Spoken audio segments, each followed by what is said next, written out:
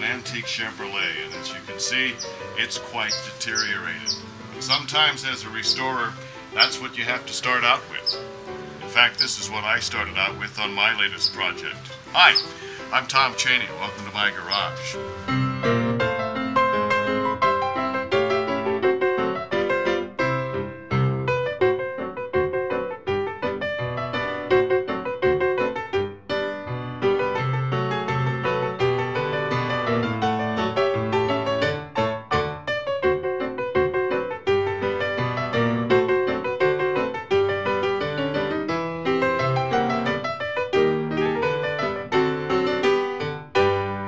This is a 1924 Chevrolet touring car.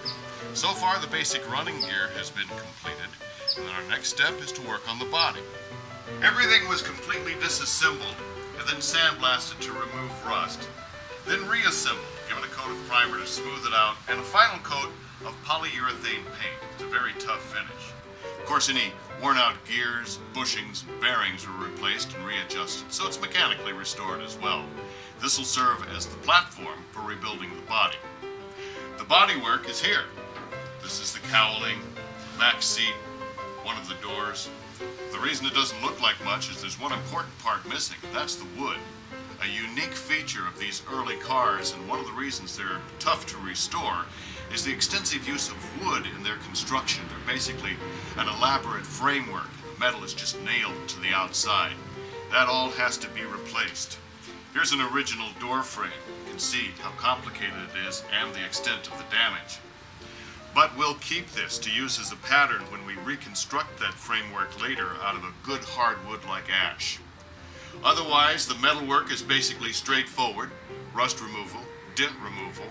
One of the most difficult parts, though, is where the rust has literally eaten the metal away, where it's gone.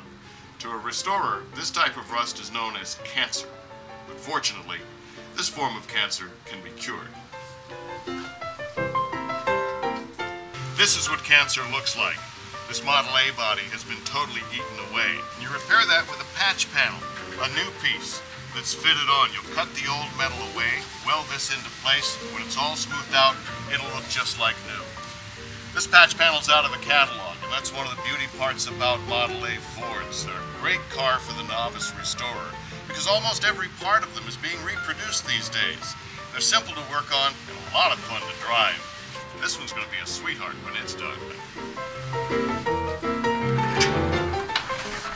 You know, I think with just a couple of adjustments, might make it all the way to Knoxville, Tennessee.